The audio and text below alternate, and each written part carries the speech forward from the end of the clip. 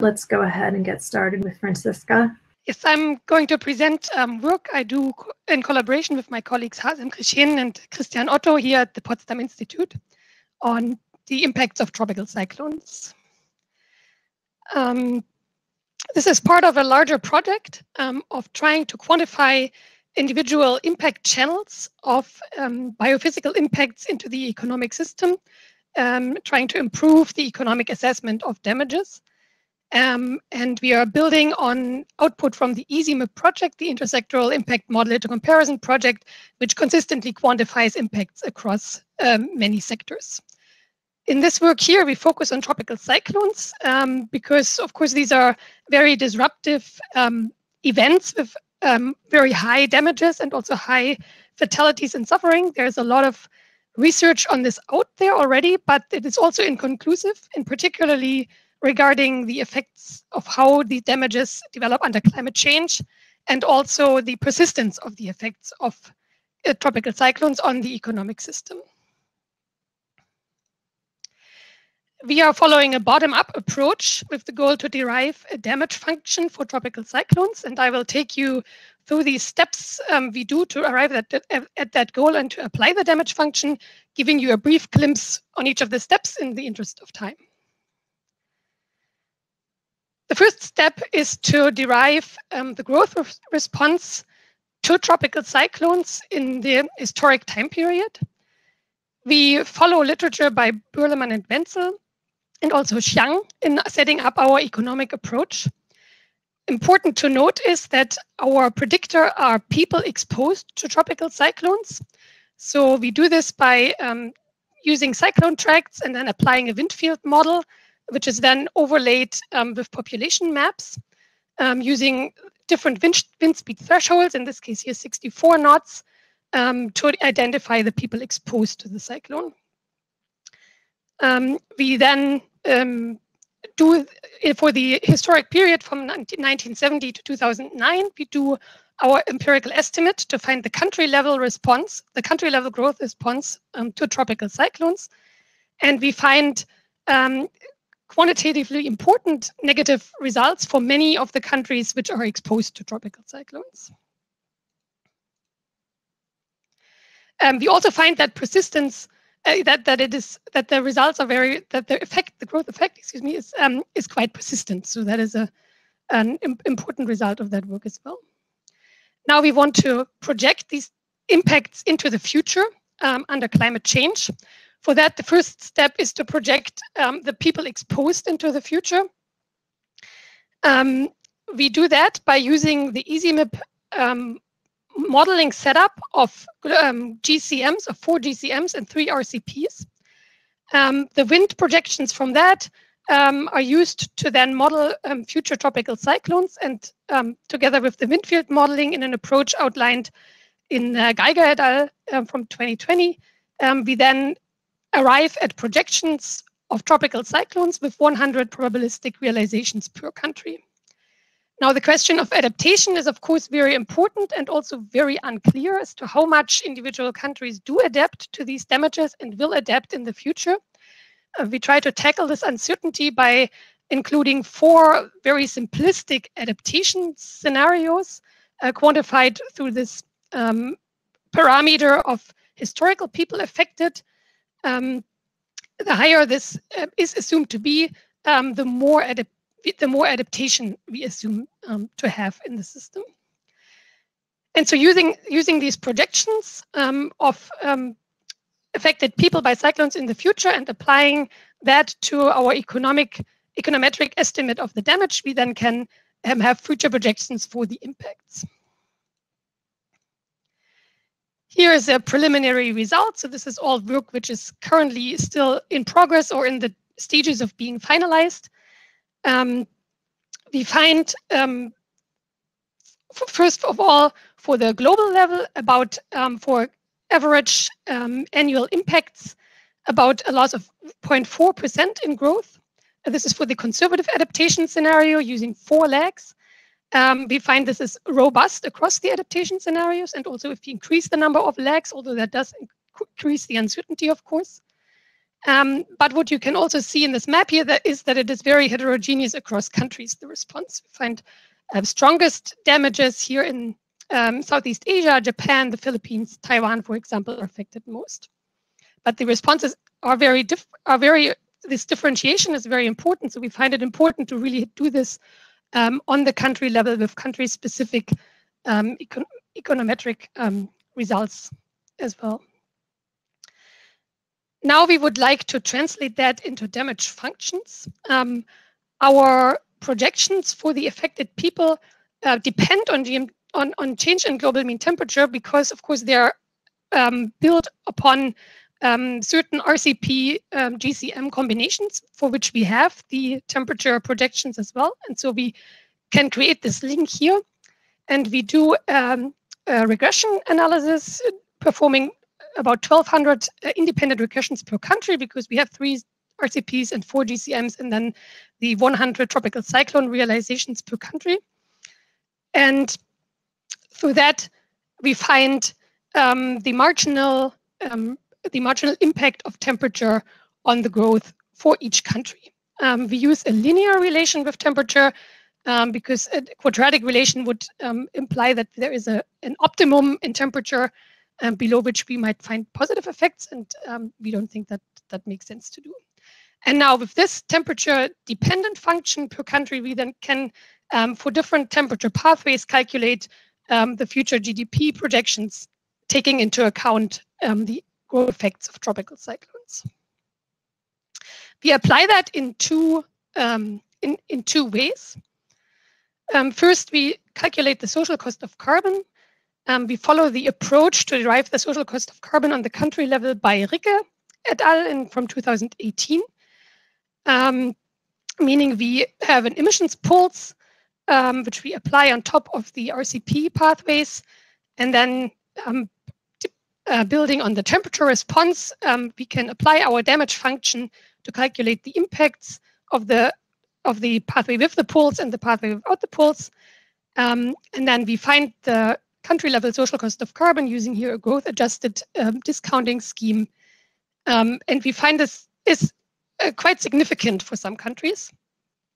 Um, what we can also do in this analysis is, of course, we can do a, a, deeper uncertainty analysis, looking at the different uncertainties coming from different SSPs or RCPs, or also these different adaptation assumptions. Um, and again, this is um, still a work in progress to analyze this in more detail.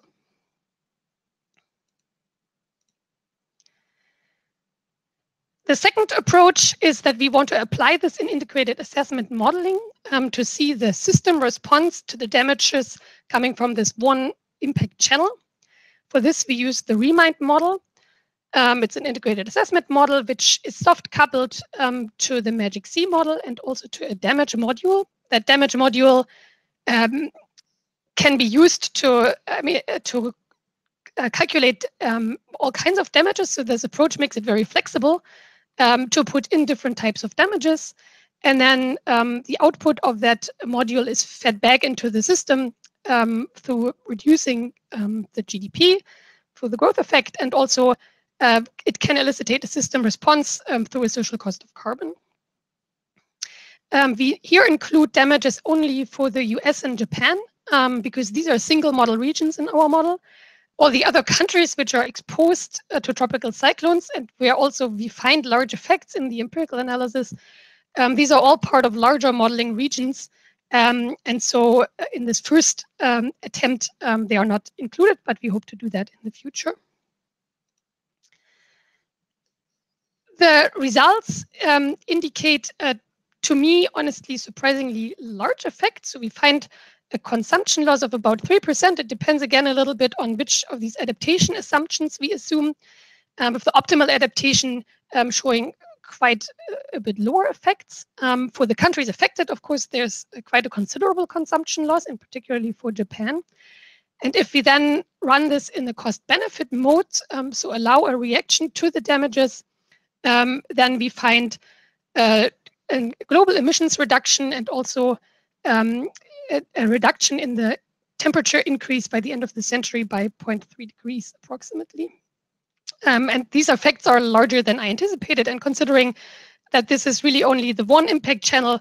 This shows really how important it is to look into these extreme events as well when um, looking at the overall integrated assessment of impacts. So in summary, um, we are developing this approach to develop bottom-up damage functions um, for different impact channels um, for, for, for economic assessment. We find that these uh, tropical cyclone damages are quite significant and important to be considered.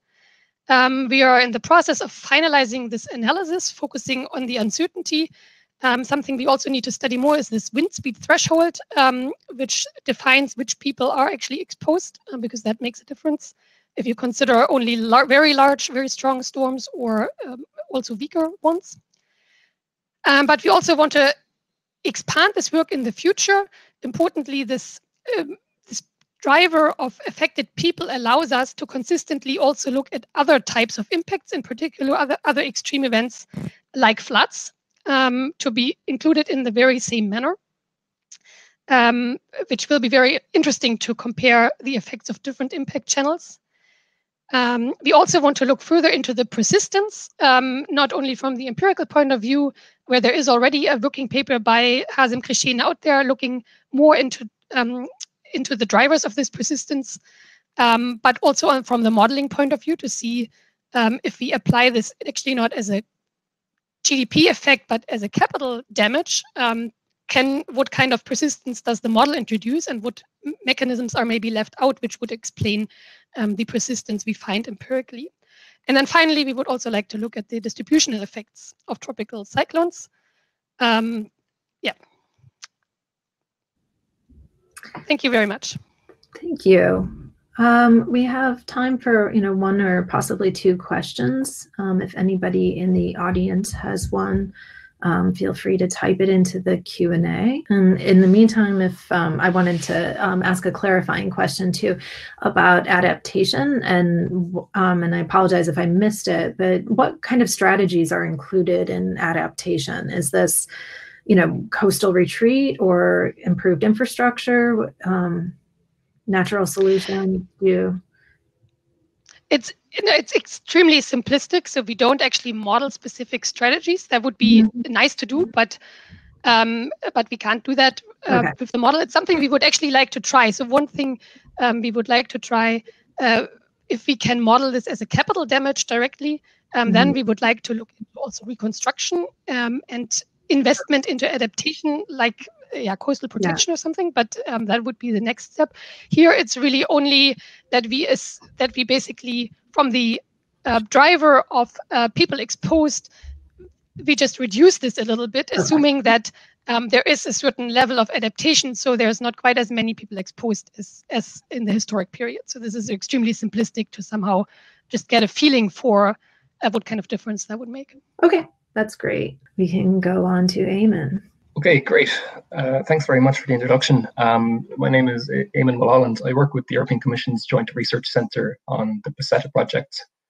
Um, the Peseta project, it'll be discussed in more detail in this same session by Juan Carlos, but to give a, a general overview of it, um, the Peseta project's involved with looking at the impact of a variety of different hazards, uh, climate hazards across Europe on a, a large variety of sectors. Uh, but with my presentation, I'm just going to be focusing on, on one specific sector that we look at and a couple of different hazards, and that's the transport sector.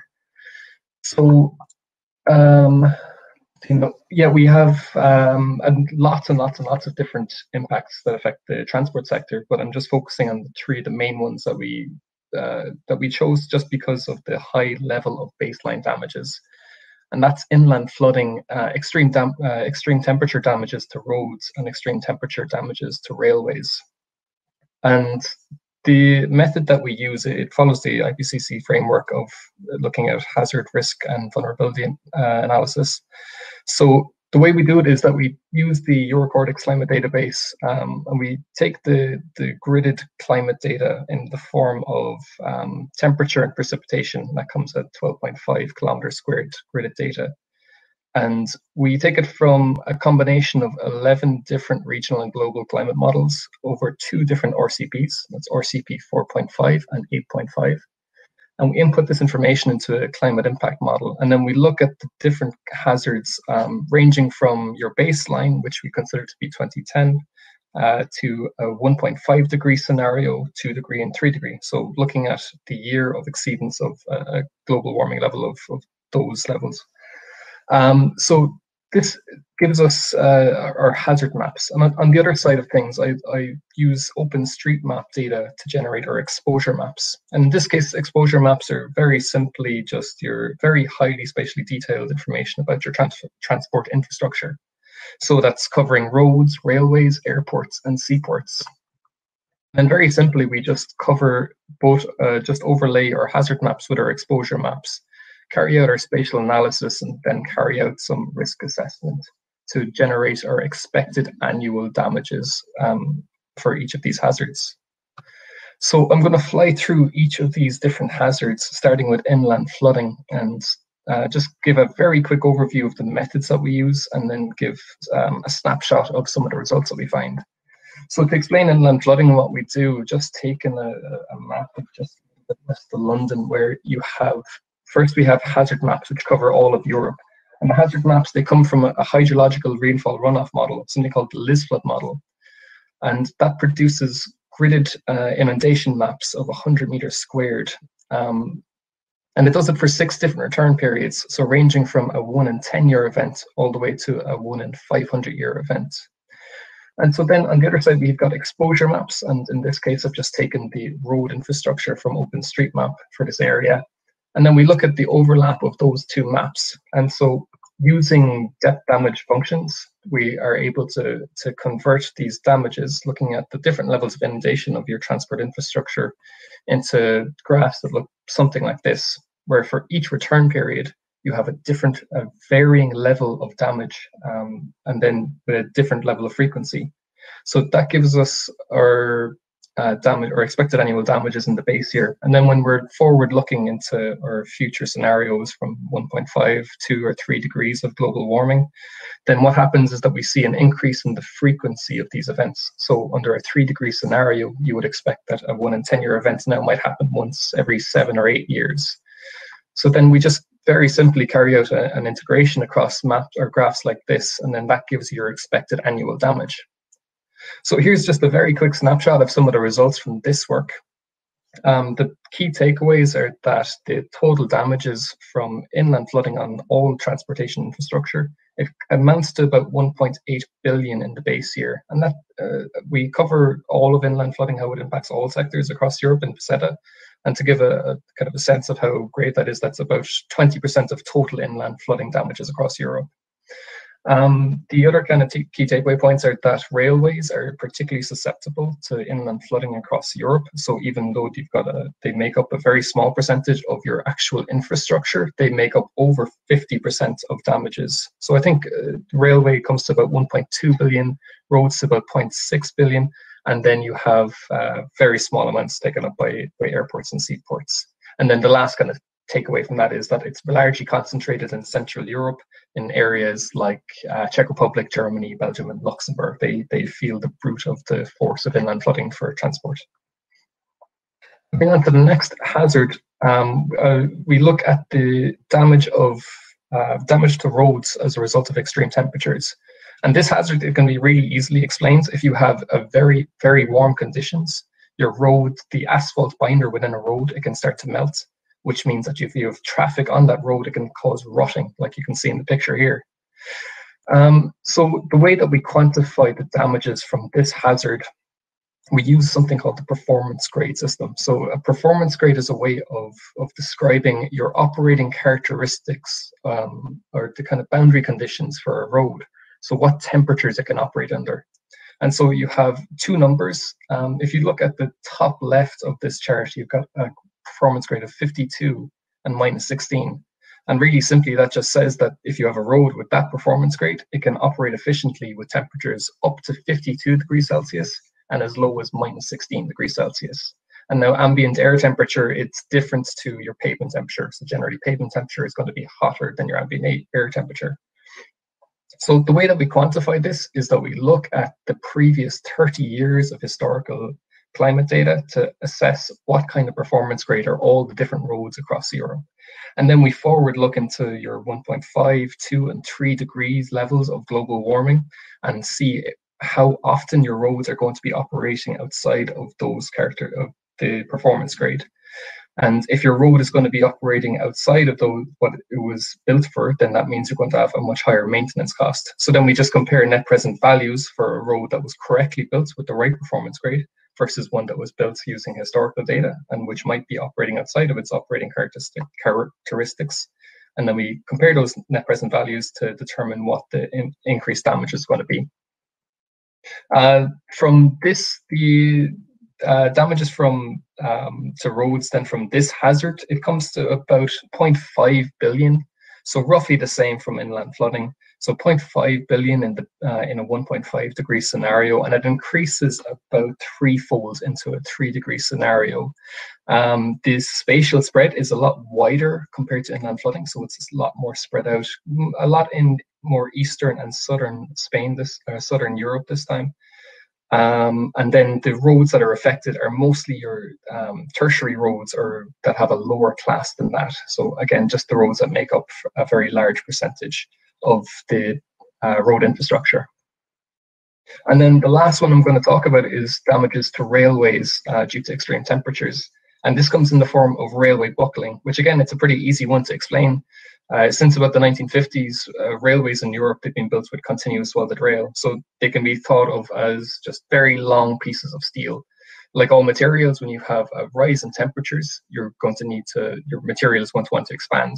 So continuous welded rail, it's able to expand to a certain point, but then when it reaches this critical temperature, it spontaneously buckles. And so the way that we quantify this, uh, we I won't go much into the, the kind of mathematical formulation that we use, but we assume it to be a perfectly elastic beam. And from that, you can determine two different critical temperatures. So looking at the graph on the right and the, the left one, I suppose, which shows the kind of U-shaped graph, it shows those two critical temperatures.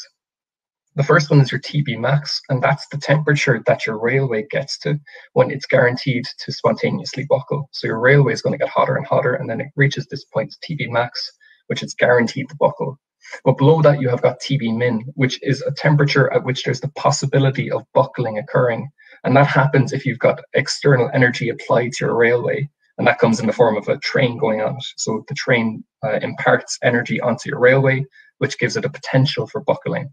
So what we do is using some assumptions around the railway characteristics across Europe, we generate these TB min and your TB max, and we create probability distributions or probability curves of at a certain temperature, what are the chances of your railway buckling? So that's able to, that allowed us to generate our damages across our baseline and up to a three degree scenario. Um, the, the findings from this was that uh, we was that the the cost or the damages from railway buckling in Europe at present are very low. It's about 0.1 billion, so the lowest of any of the other hazards that I've looked at today. But the, the key takeaway point is that it has the fastest level of increase. So it increases to about 1.2 billion by uh, under a three degree scenario. Um, and as for spatial distribution, it's largely centered around, for now, it's where you would expect where the countries that have a large level of rail, which would be Germany, Austria, and some in uh, southern Spain as well. And it kind of expands across Europe, that increase in, um, in damages. So then just to finish up, I've just put all of the different hazards against each other. And you'll notice that the road extreme heat doesn't have a baseline value. And the reason for that is because we require um, historic 30 years of historic data in order to determine a, a performance grade. So what we're missing is data from 1950 to 1980 to determine what the performance grade was back then in order to create a, a baseline cost. So apart from that, um, the, the key takeaways from this are that inland flooding by far stands at the, one of the largest of, of these three. Um, but the other points are that uh, railways are particularly susceptible both from inland flooding and the increase in uh, damages due to railway buckling. Um, in terms of uh, putting into the context of the cost to European transport infrastructure at the moment, uh, operation and maintenance costs, uh, they would it's about three percent the current damages that we've calculated amount for about three percent of operation and maintenance costs. And under a three degree scenario, that increases about 17%. Um, and then this is only covering uh, a handful of the actual damages to of all the damages to the transport sector. So we're still in the process of the two that we consider to be most vital, which are coastal flooding and of droughts. And I think that's everything. So thanks very much for your time. Thanks, Ian. That was really interesting. Um, there's one question um, from Jen Morris. Uh, for inland flooding, what do you use to inform your dollar estimates of damages? Are they from historical events or something else? Uh, it's based from yeah based from literature. Um, so quite simply, we we have uh, a wide variety of of literature that gives us costing or valuation for different types of infrastructure. Um, for lots of different types of roads for the different classes, whether it's primary, uh, a motorway, secondary, tertiary, um, costings per airport with different types of infrastructure for your, if it's a hangar, if it's a runway, uh, same for seaports and for railways. So we have these uh, these values of um, our infrastructure, and then we just apply these depth damage functions, uh, which are fractional. So it tells you if you have an inundation. I think if it's above five meters, then it's completely obliterating your your infrastructure. But then it's progressive up to that point. So it's just using a combination of your valuation of your assets with these depth damage functions. Thanks. And um, I also have a question. Um, uh, what I was wondering, based on the really detailed nature of this work, is um, in addition to trying to value the the total damages under different scenarios, do you think this can inform adaptation decisions um, at these very fine local scales, where you know you can inform local decision makers to what costs they might be expecting in the future? Yeah, it's a it's a really good point. Um, well, the I suppose it in theory, yes, it could, and it is something that we're trying to do. With, and um, I think Juan Carlos will go into the kind of the, the larger scale of the Peseta projects, which we give adapt- adaptation options for um, at the European-wide level of inland flooding, especially. Uh, it is quite tricky because we're focusing at the the wide scale of it's, it's European focused. So we look at the impacts of the European scale, and it's difficult to be able to, to generate adaptation for something that you're looking at wide scale like this because it, like you said, it comes down to um, your local adaptation policies. Uh, so it's something that it is possible to do, but it's not really the focus of this work, I guess. Okay, so um, I'm going to talk with you about the uh, economic incidence of climate impacts in the U.S. And uh, this work is in conjunction with uh, colleagues at MIT, Mei Yuan, Elodie Blanc, John Reilly, also some colleagues at EPA, Jeremy Martinich, Marcus Sarofim, and uh, my colleague Jameel Alsalam within the climate economics branch.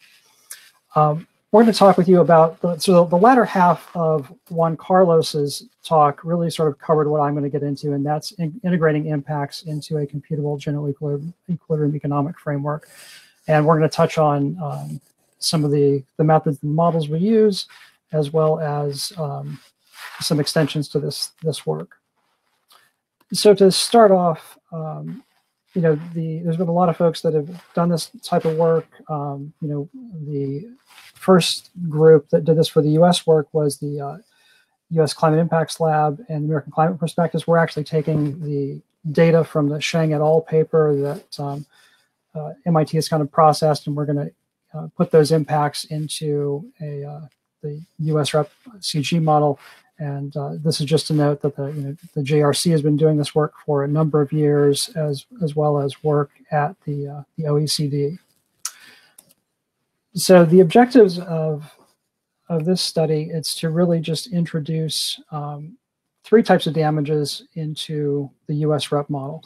And the, the rationale for doing that is we have a lot of sectoral impacts uh, for climate change, and you want to try to understand, well, what are sort of the, the broader interactions on the economy and also it provides a nice consistent accounting basis um, for sort of weighing the uh, the relative effects in, across different sectors. So this work, um, we've done a lot of work to disaggregate U.S. REP from uh, 12 regions to 29 regions. We've also extended out the modeling time frame from 2050 to 2100. And the main impacts that we're looking at, we're focusing on three impacts, labor, agriculture, and heat mortality. we want to examine sort of the, the magnitude and also the incident of climate change damages within, within US REP. So just to give some perspective on US rep. It is a, again, a 29 region model and it is a recursive dynamic model. So unlike the work that Juan Carlos showed, we're not taking a sort of a static picture of the economy um, and then applying uh, climate impacts to that. We're actually uh, looking at what the cumulative impacts of the damages would be over time so that you have effects uh, that are occurring on the capital stock. So that's going to be captured. Um, the model, US REP has been mainly designed to look at um, mitigation policy and uh, other other types of energy policies. And so we're doing a lot of tweaks to it to uh, get it to better represent uh, different climate impacts. And so the three impacts that we're focusing on, again, this comes from uh, Shang et al. We're looking at the impacts of labor productivity. And so there's a, a high risk group and a low risk group. That's sort of the, the top two figures. And then you also have the uh, agricultural impacts. So there's some regions um, that will benefit from higher temperatures and many, many regions that will, will have a loss of output. And then finally, pieces we're looking at heat mortality. So the, the impact um, to people because of higher uh, higher damages uh, due to um, you know impact of, of higher higher heating days. You have mortality loss, particularly with the elderly population, and the results in the uh, the Shang et al. paper they show some benefit in the northern latitudes. Uh, I would note that the, the CIRA work that EPA has done uh, doesn't show as great of a benefit on the mortality change, so great greater impacts um, across the board and, and, less benefits to, to higher temperatures. And one thing to note is we are actually introducing the mortality impacts into uh, the model. So it's not a post-processing step. Um, we're essentially decrementing the, uh, the labor leisure endowment of the representative agent. Um, so some caveats and limitations. So this initial foray is only looking at the median impacts. We're not looking at the distribution impacts across climate models. That's some, some follow-up work. Um, the adaptation heat mortality is more limited than reported in recent research, so that may inflate it. However, we're also not inflating our value of statistical life, which is around $8 million. Uh, that's kept constant, doesn't rise with GDP, so that would, that would understate uh, possibly some of the mortality losses. And uh, also in the agriculture space, we USREP only has a single agricultural sector, so uh, we're had to do some work to sort of you know add up and aggregate a lot of different agricultural sectors to get aggregate impacts. It would be better to have you know crops broken out in livestock, um, but that'll have to be left for some future work. As I'm presenting some of the results, everything is aggregated to the uh, NCA regions. So we have you know basically uh, six or seven regions across the, the CONUS that we're looking at. And, uh, and that's how we're going to be talking about uh, most of the results. Just to give you a flavor of what the shocks look like. So there, there's a lot of regional variability um, in the shock. So for example, you know, mortality loss is much greater in the, uh, the lower states, the southern states. Um, you also see greater agricultural impact in the central part of the country and actually some benefit in the in the northwest. And the labor impact is extremely small, but it actually ends up being uh, one of the biggest damages. So looking at things at just sort of a national level as we you know shock the model, and this is looking at uh, change in consumption and GDP in 2100 for RCP 8.5. And so you can see losses of you know close to three trillion dollars, um, and we're we're looking at this across. Uh, we've kind of stacked up the, the, different climate impacts. So we're looking at consumption and also GDP. The um, consumption losses tend to be slightly less than GDP, and the biggest impact is due to the loss in labor. Uh, mortality has less an effect, and agriculture uh, even somewhat less than that but there's definitely a regional story to be told here. And what you can what you can see is that on the uh, you know for the southern states, they're definitely great, more impacted by the labor. So there's uh, greater greater loss of labor productivity due to the um, decreased work hours that uh, that people have when it gets hot out, and that's sort of an adaptation that you end up working less. But you can also see in the the Great Plains, northern Great Plains in the Northwest, if you look at the agricultural space, those sectors actually, or those regions actually benefit somewhat from a, a higher higher temperatures. So one takeaway from this work is it's definitely important to to look at different regional variations and to kind of capture that uh, capture that. Another interesting aspect is that um, a lot of the a lot of these effects are roughly are roughly additive. So if you combine the agriculture plus the labor impact, that uh, that tends to um, you know essentially look be the same as if you have shock the model with all the impacts at the same time. Um, we want to do a sensitivity sort of look at the impact of the RCP. So 8.5 is considered to be a, a, rather high extreme scenario these days. And so if we sort of just look at what an RCP 4.5 would look like, um, the damages are definitely reduced, which is not not surprising, um, and that that's pretty much across the board for all regions and all sectors. So one thing that we also wanted to look at is what are the different sectoral impacts and how does this, how do different sectors of the economy, are, are they impacted? And so the main impact, since the, the main channel impact tends to be through the labor effect, is that the greatest impacts are in the services, other industries, and energy intensive industries because they those tend to have the, the greatest use of, of labor. So not, not necessarily anything surprising there. When we look at the regional differences, um, then you can actually see where you know the, the southern regions again they're definitely more than the northern regions and in fact you can also see this shows through uh, also where you're getting more agricultural output particularly in the northern great plains um, and so that that suggests that you know again it's important to look at these things across the different uh, different regions and uh, and so that's what we've been looking at there the next piece that um, we want to look at is how is this impacted on households um, by welfare and by region? And so what this figure shows is the change in equivalent variation across the different regions uh, for the different impacted sectors, mortality, agriculture, uh, labor, and then all the impacts at once. And so one surprising result, um, well, I mean, for, first of all, as at a top level, the, um, the labor impacts definitely have the strongest effect, and it's greater in the southern regions. And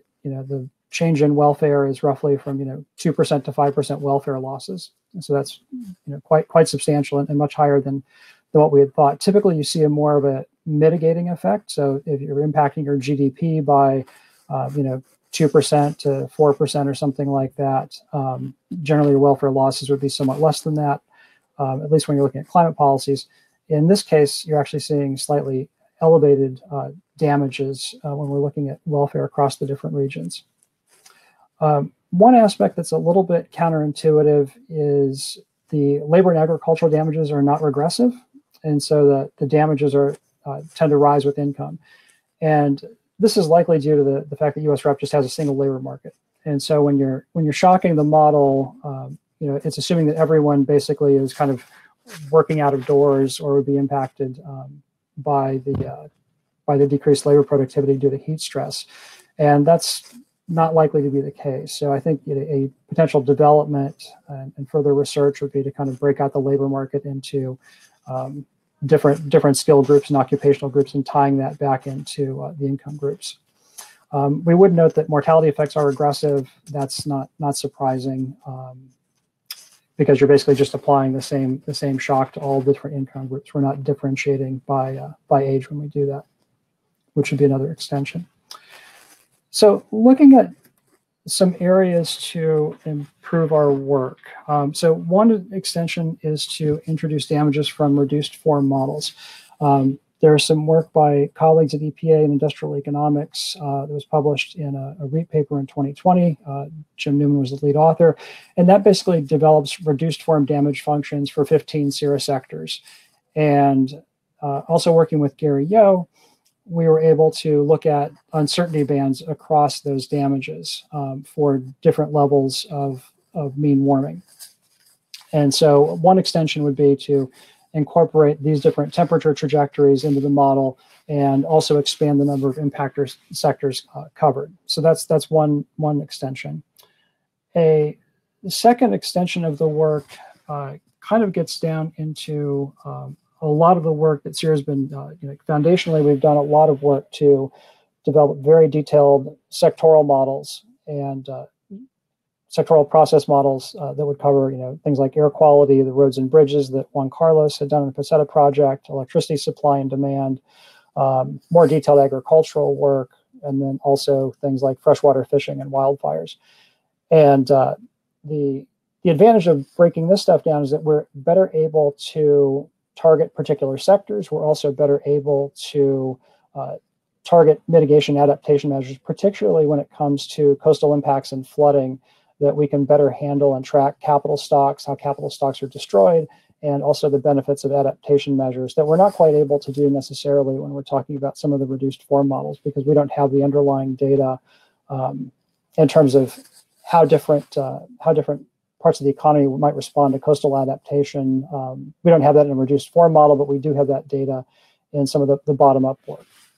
So, so that's that's another extension. And I guess a, you know a third a third piece that uh, I alluded to earlier is looking at different um, climate models and also RCPs. And so um, we're trying to partner with uh, James Rising from, uh, I guess, has also done some work with Juan Carlos to look at a, an ensemble of the, the climate models from the American Climate Prospectus and incorporate that into uh, into USREP.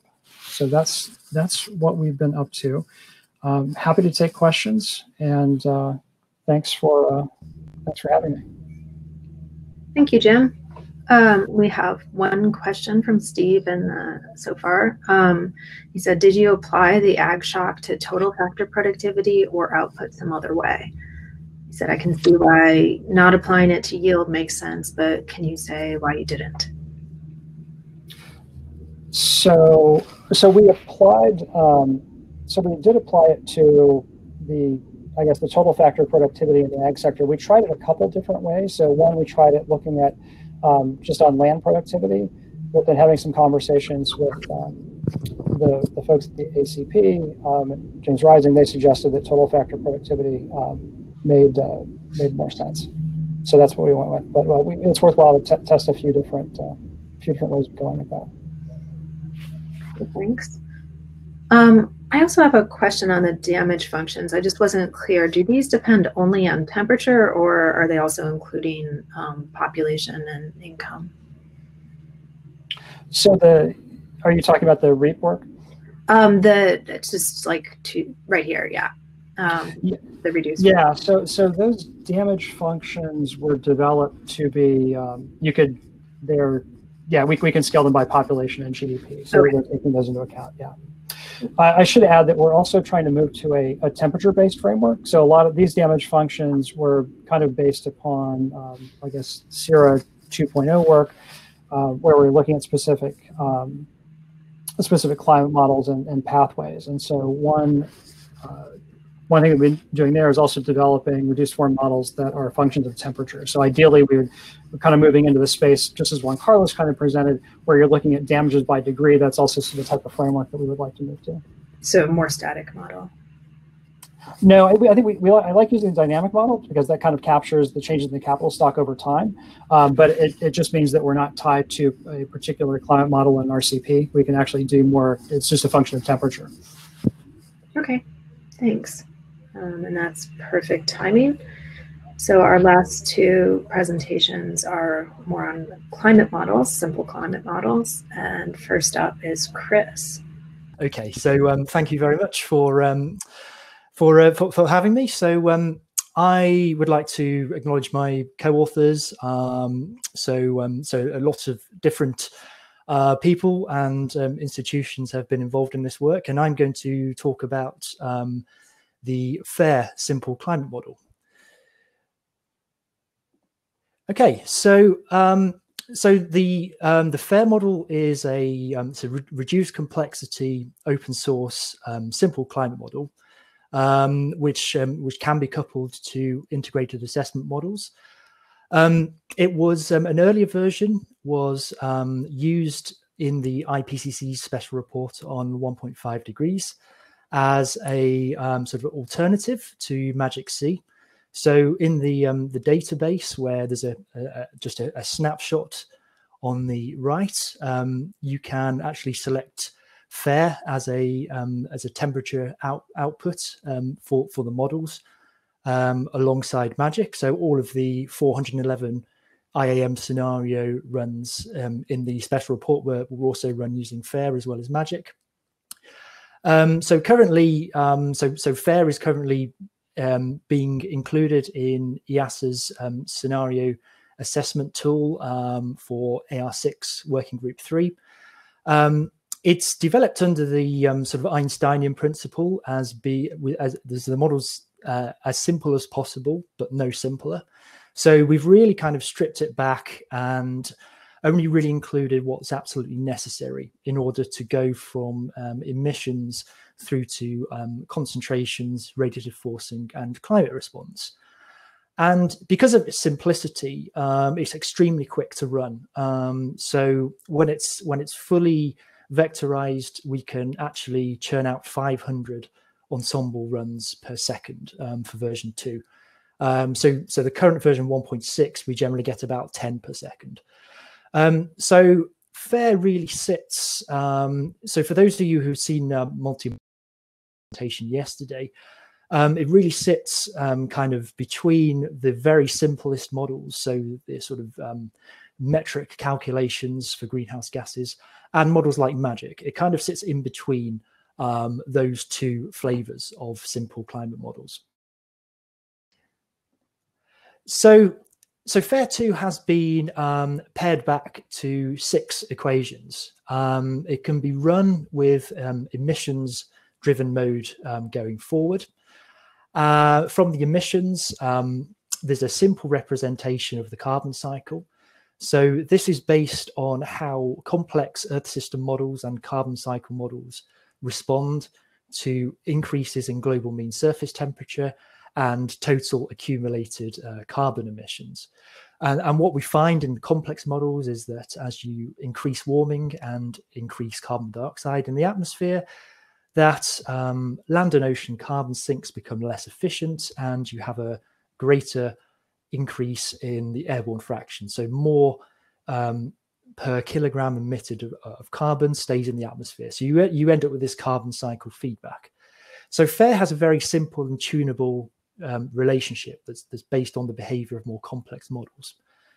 Um, you can also run it in um, driven by concentrations. So if you wanted to compare, for example, one of the prescribed RCP or SCP, SSP scenarios with MAGICC or uh, or to work out what the carbon budget would be for a particular warming given CO2 concentrations, then you can effectively run it backwards to, to give you the, um, the diagnosed emissions. So from this um, simple carbon cycle, um, so this is this this um, this equation at the top. Um, there are other gas cycles such as methane and nitrous oxide, and, and methane has this this lifetime feedback. Um, so as we emit more methane, its atmospheric lifetime gets longer. Um, so this is a sort of well-known fact from uh, from chemistry climate models. We can calculate the atmospheric concentrations of greenhouse gases. And from the concentrations, we move forward into the radiative forcing. Um, so these are um, parameterized equations um, similar to the ones that are used um, from the IPCC Working Group 1. Um, and um, from radiative forcing, we, we apply these uh, forcings to a, a, three impulse, three box impulse response model of temperature. Um, so the, the, the three boxes impulse response model is a, a, sort of an extension over the two box model that was used in earlier versions of FaIR. Um, we find, and uh, sort of research has, uh, shown from from Junichi Tsutsui and, um, and, and and others that, that generally three boxes gives a much better um, relationship to um, surface temperature than two boxes does. Um, and the temperature itself, um, as I said before, it feeds back into the carbon cycle and, and cycles for other gases.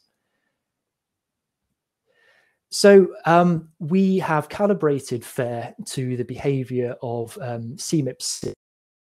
Um, the first thing that we did was to calibrate the um, the temperature response. So those um, three impulse response boxes, um, how temperature corresponds to forcing. We did this using um, abrupt four times CO2 uh, and 1% uh, CO2 experiments from 40 climate models. So this is shown in this figure on the right. Um, the the model um, model results are in, in, in orange for the four times CO2 and blue for the 1% CO2 and the, the FaIR modeled fits are in the dashed lines overlay those models. So with three parameters for can tune the responses to complex models um, very well indeed. We do a, sim, uh, a similar um, procedure for the carbon cycle. So um, there's an experiment called C4MIP um, where uh, climate models are run just looking at um, how, um, how, how carbon dioxide concentrations of the atmosphere respond to um, just a change in, in, in, biogeochemistry and the change in, in, in radiation. So the, the sensitivities to um, accumulated carbon and temperature, we can tune those parameters based on these 11 model runs. And um, I should also mention that um, as well as greenhouse gases, we have a, uh, uh, aerosol emissions to forcing module and a tropospheric ozone emissions to forcing module. And for the aerosols, um, we um, we we have this um, simple uh, six parameter model where we um, we uh, tune emissions to the, um, the, the direct and the indirect forcing from 10 models participating in the radiative forcing and aerosol chemistry model intercomparison projects. So there's there's a lot of uh, tuning to complex models going on in the um, in the in the calibration of the FaIR model. So when we have um, complete data, we can actually emulate um, the responses to particular CMIP6 models. Um, so there's five models that have done the experiments for both the carbon cycle and the aerosol forcing. So um, we can um, we can actually use those uh, historical model ensemble surface temperature changes as a test that the FaIR calibrations are doing something sensible. Um, so this left figure here shows you the comparison of the um, the FaIR tunings, which are the solid, the, the thicker lines, and the CMIP6 results, which are the, um, the thinner lines. Um, the the FaIR model here is only run with anthropogenic forcing, so we don't include volcanoes, for example, in in this particular run. And you can see that the um, the FaIR model is doing a good job of matching the CMIP6 um, results. On the right, um, we extend this. So we use these five models um, to, we run the um, four SSP projections using a large ensemble of um, parameter tunings based on these five models. And um, so I've overlaid the observed um, global mean surface temperature change in the black dots. And you can see from the from this sort of naive CMIP6 emulation um, that the the model is generally projecting warmer temperatures over the towards the end of the historical period um, than the observations. And the reason for this is that our sample size of um, CMIP6 models of five only includes, uh, well, mostly includes models that have high climate sensitivity, project um, a high amount of warming. So to um, to address this, we can actually apply a constraint. Um, we can actually uh, we can we can sample a large ensemble. So we we have a one million um, a one million member Monte Carlo ensemble here, and based on the CMIP6 tunings, we can um, we can vary the climate sensitivity, the radiative forcing, the carbon cycle parameters, and the temperature responses um, within those ranges informed by CMIP6 distributions or the IPCC fifth assessment report. And then we can actually um, match projections um, uh, from those um, where the historical temperature actually um, recreates um, the um, the the observed historical temperature within um, uncertainty. So this gives the, the, the figure on the right, and as you can see, the the the the top end of the projection has come down. And if I just flick between uh, the, these two slides, you can see that the effect that the constraining has, um, we kind of lose a lot of the, the high end scenarios um, from uh, when we constrain based on observations. Um, as as Malte mentioned yesterday, um, FaIR and MAGICC are um, only two of a, a, a, wide and a widening group of um, reduced complexity models. Um, and this uh, intercomparison came about because um, it was sort of widely seen in the special report that FaIR and MAGICC differed in their uh, temperature response to uh, mitigation scenarios, generally by about 0.2 degrees for um, for the for, for the more sort of mitigation um, scenarios. And we did some investigation, and we, when we found this was mostly due to how the models were set up, rather than particularly um, uh, many structural differences between the models.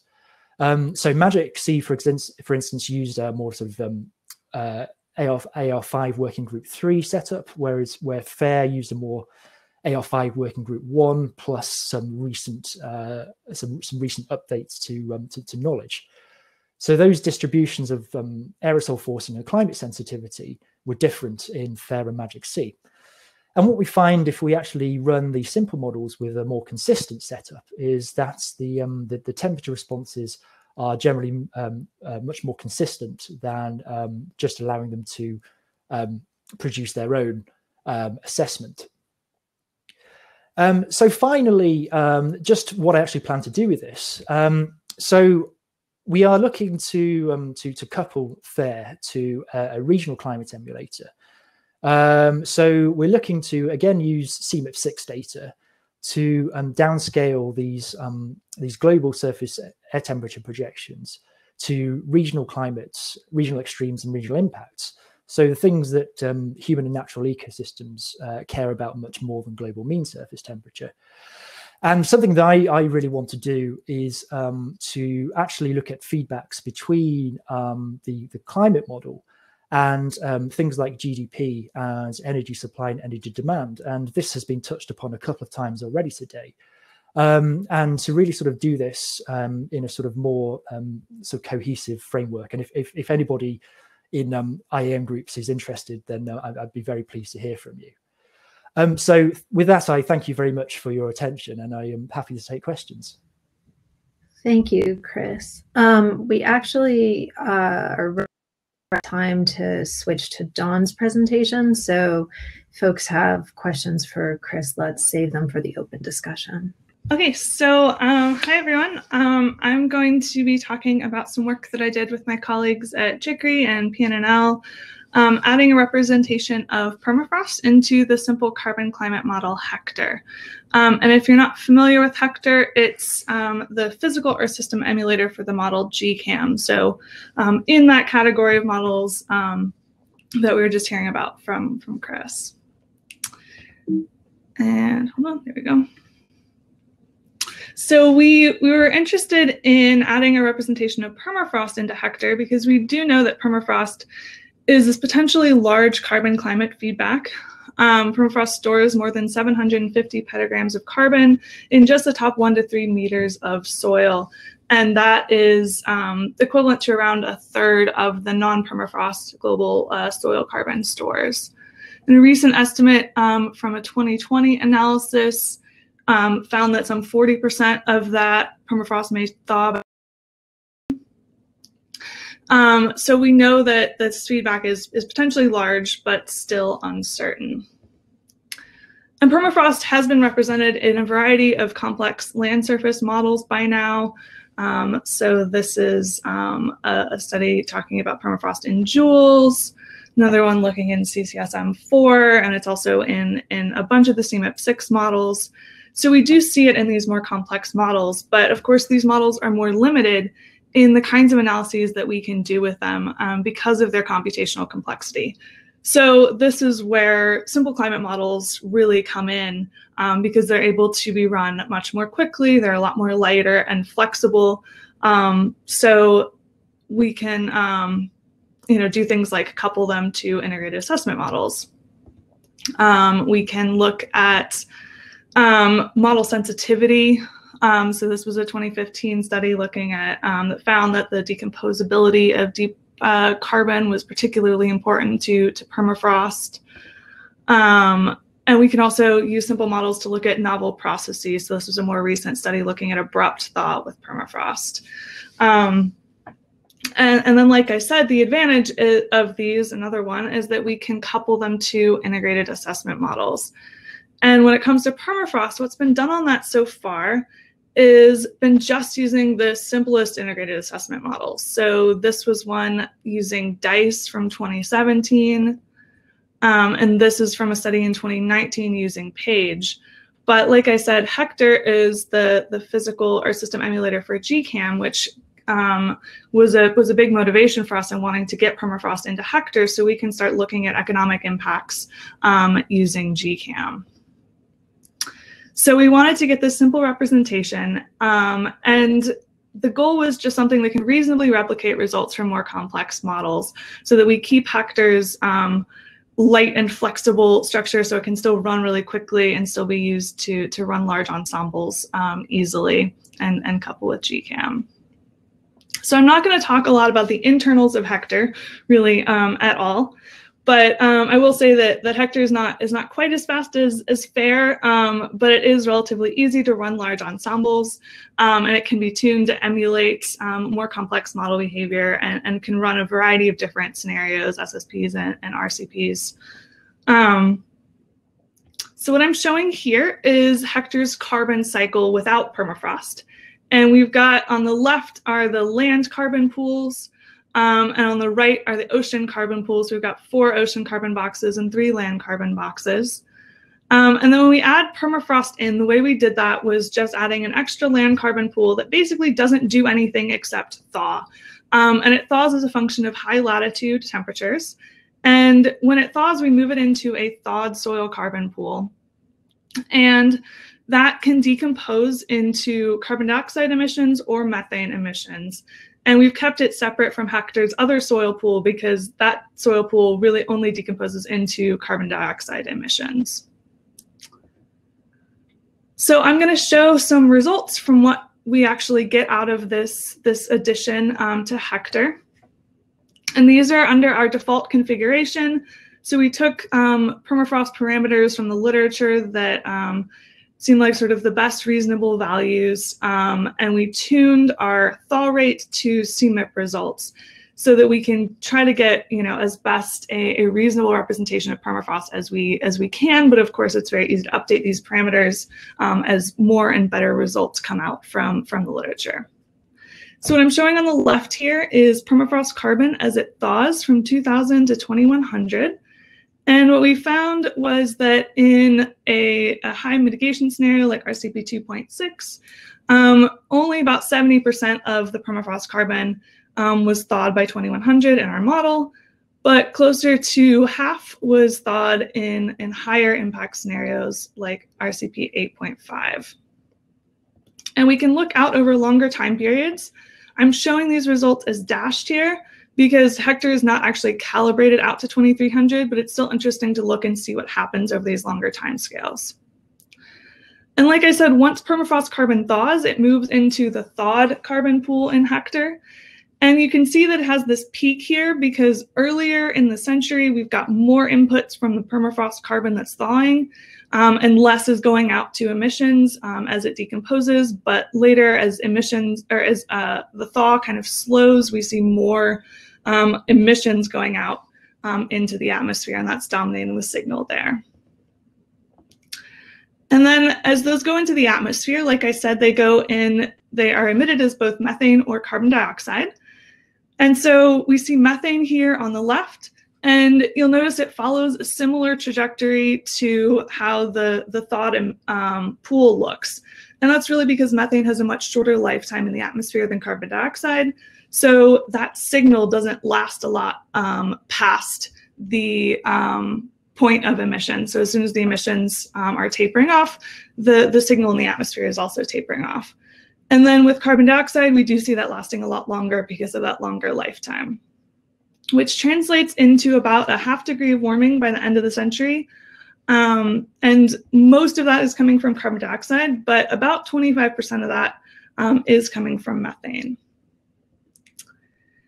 And like I said, one of the really important criteria that we had, we wanted to make sure that we're reasonably matching up to the literature. So we looked at a few different um, things here. We looked at the amount of permafrost remaining, permafrost emissions, um, and temperature change, and compared to a lot more studies than just this, I'm just showing a handful here.